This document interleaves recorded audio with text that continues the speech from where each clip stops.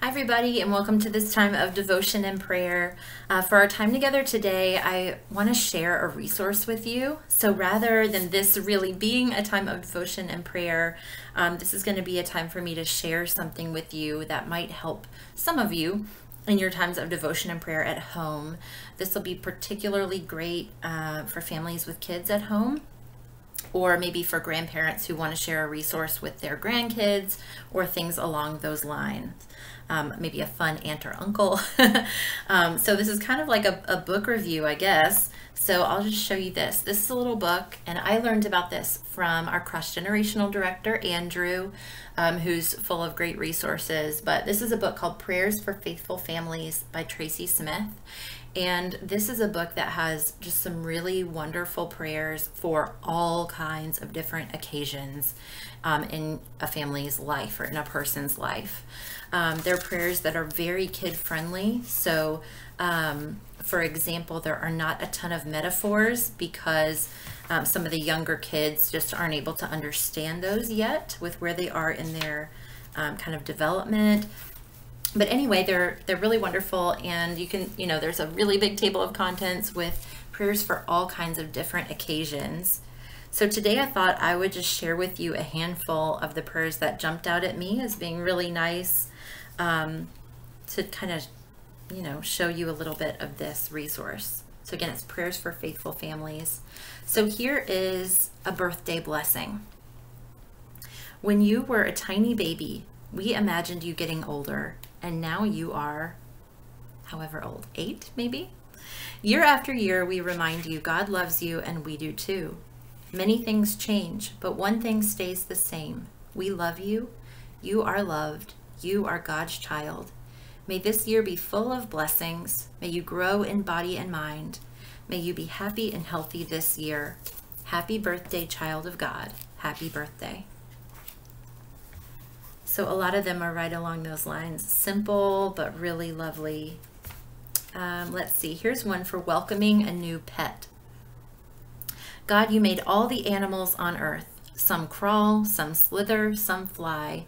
Some have fur, some have scales, some have feathers. Today we give thanks for our new pet. May our pet be a blessing to our family and a new friend to love. Help us to treat our pet with love and respect May we care for our pet and show our love every day. There are prayers for all kinds of occasions, um, including prayers for difficult times. Let's see, one that I thought was really lovely was a prayer for when someone has died. When someone dies, we know we will miss them. We feel a lot of things all at once sad, confused, angry. Sometimes we don't know what to think or feel. Help us each day as our feelings are changing. Help us to remember happy memories of this person. Let us be at peace. I think that prayer is so nice. And there are, you know, the prayers for the difficult times in here might be times when, um, as a parent or loved one, you aren't sure what to say to your child or you aren't sure what to pray with your child.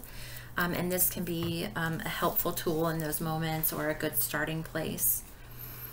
Um, I even liked this one. This is a prayer for after a traumatic news event, and we've certainly had a lot of those in the last year or so.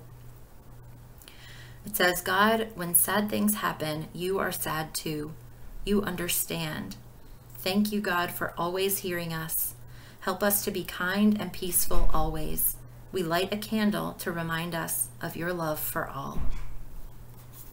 So again, these are just really brief, really lovely prayers for holidays, for times that are hard, for times that are joyful, for times of transition.